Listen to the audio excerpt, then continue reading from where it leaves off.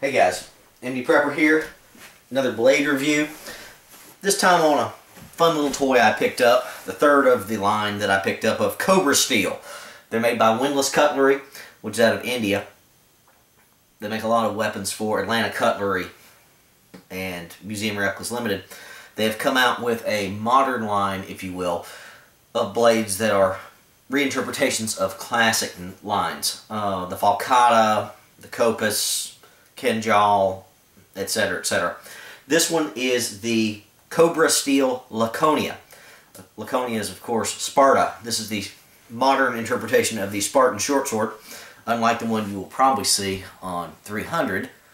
But uh, this is basically a high carbon steel version of an old Greek sword.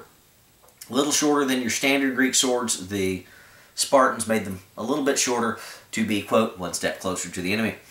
So, very nice little blade. Picked up, I think I got it last week.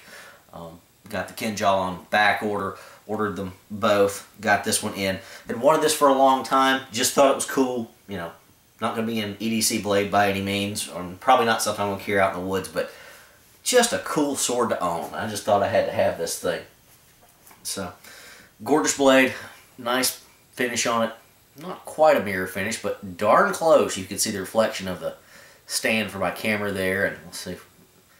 There's the lighting above, etc. Very nice blade. Very well weighted. Um, comes reasonably sharp from the factory. Not razor sharp, not shaving sharp, but uh, combat sharp, I would say. This would be ready to use for whatever you want to in the brush or if your phalanx falls apart and you get into hand-to-hand -hand combat, yeah, this will do the job. Full tang, which is great. You see that there? All the way.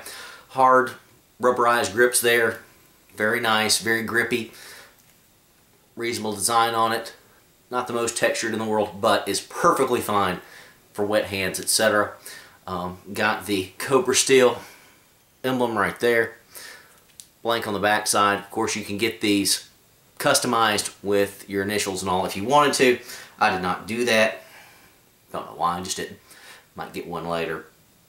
But uh, nice blade, very sharp, incredibly sturdy. This thing kicks butt. This is just cool. High cool factor. Now obviously, got some handprints on it just from handling the thing, but very shiny there. You can see that right there. That is just gorgeous. Stats on this thing, it is high carbon steel, but I do not know the exact style or type of steel. Just couldn't find it listed. Didn't look real hard. Overall, it's 20 and a half inches long, 14 inch blade on it. The edge starts right there, right at the edge of the Cobra steel. So it's not sharpened down in here. The width, they listed on the website at the widest part here as 2 and 3 sixteenths. I measured it myself. It looked closer to just 2 inches. I don't know. They said 2 and 3 sixteenths, so we'll go with 2 and 3 sixteenths. Weight on this is 1 pound 7 ounces, which makes it very light in the hand, very quick. Gonna get whatever type of job done you want. Very nice, very durable. This is gonna be quite the beater blade for me. Price tag, um, I thought was fairly reasonable for the quality and the size of this thing was $60. I think it was 5 or $6 more for uh, custom engraving, for initials or whatnot on it. Just didn't opt for that. Love this so far. Have not used it yet. The sheath is decent. It's not as nice as my Condor line, but I'd say I'd place it maybe a little bit better than some of the Cordura sheaths out there. They describe it as heavy leather. Um, it's heavier than a lot of your Indian Pakistani blades, I'd say but uh, it's not heavy as in Condor tool and knife heavy. Black, obviously, lots of rivets all the way around for a little bit of bling there. That's not exactly historically accurate, but I think that's just cheaper and easier to make. Just your standard belt loop on the back side, secured with some fairly decent stitching. I think this is going to hold up to fairly decent use. Not the finest sheath in the world, but again, you're paying for the blade. You got uh, Cobra steel stamped in the leather right there. So Nothing wrong with the sheath. Could be a little bit better. Rivets are okay. A little flashy for me, but whatever. This is what I want. I don't care what this looks like, personally. Not for something like this. Kind of a toy, if you will. uh, a toy for boys that can be seriously used if needed. Fits in the sheath very well overall. There you go. That's it in its complete form. Very secure. That's not going to slip out by any means. Fair amount of retention because of the inside of the leather texture on this big long blade. Well, not big long, but long compared to your standard knife. So that's not going to fall out, so it does not need any kind of upper clasp or anything like that. Reasonable to come out of the sheath. Like I said, pretty decent retention there. I like this. I like this a lot. Can't wait to get some property and run around and chop stuff up.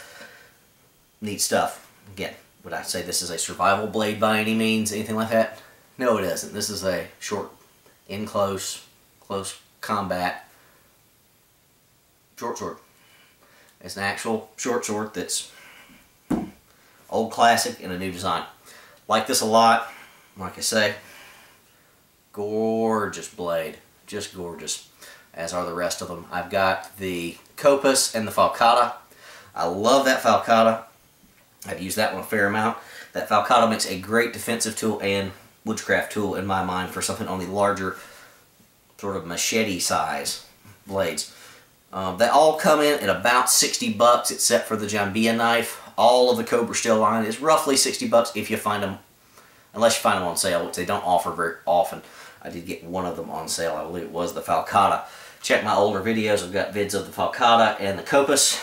And uh, like I said, I've got the Kinjal on back order. I might not order if I do it was on back order because I'm impatient. Either way, nice blade. Maybe not for everybody. Definitely not the primary survival style blade or prepping blade, but darn it, this thing is cool. Highly recommended. MD Prepper, out.